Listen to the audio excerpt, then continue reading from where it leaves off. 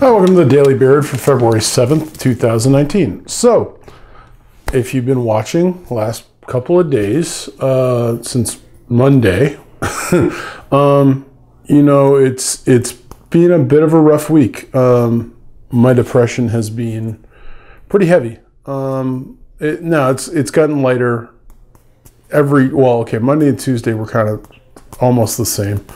Uh, Wednesday was getting a little lighter. And then this morning, like I figure if I'm going to talk about the depressed days, I got to talk about the non-depressed days. And my dog just walked in the room. Hey, buddy.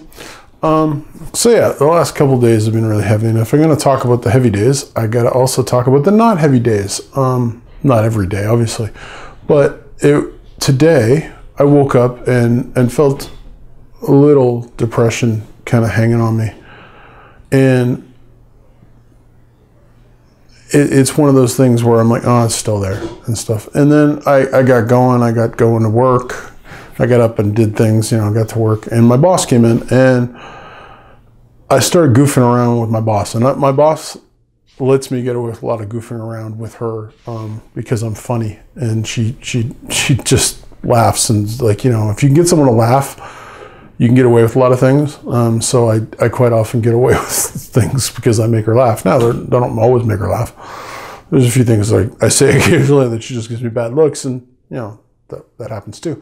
But today, um, I just kept on like finding reasons to to kind of interject and, and say things, and she'd pointed out that like she knew I was depressed the other day because I don't come in her office, and like I was in her office eight times today, where I just walk by and I'll say something or I'll interject.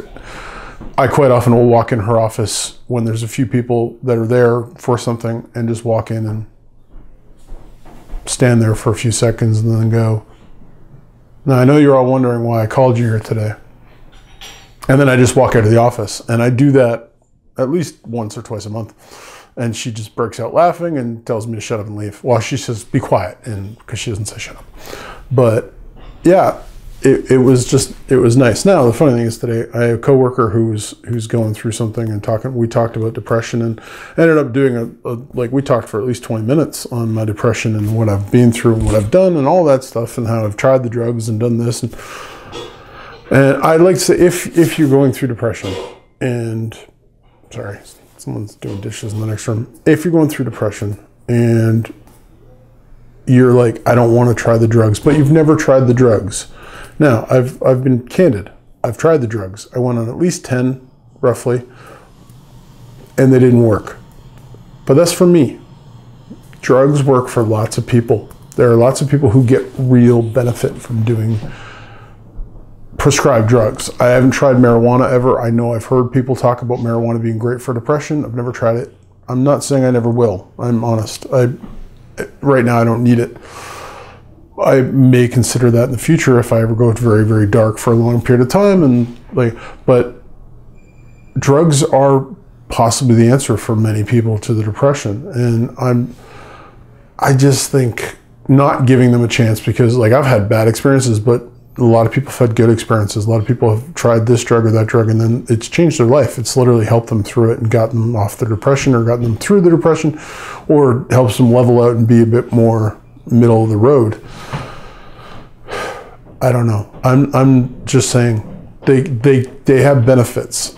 I went through like ten of them trying because I wanted them to work, and they just didn't work, and that's why I ended up doing ECT. But today is a good day. I had a good day at work. I was joking and my normal ridiculous self. And it's just the bad days are there and then the good days come afterwards. I don't they don't last the bad days don't last forever. And uh, yeah, it's only fair that if I'm going to talk about my bad days, I got to tell you, well, that's not happening today. Not, every day is going to be like, hey, I'm a good day today. But, you know, but since my last couple vlogs have talked about how heavy it's been, Today wasn't that. So there's hope, people. Not every day is going to be like that. Thanks for watching. Stay bearded.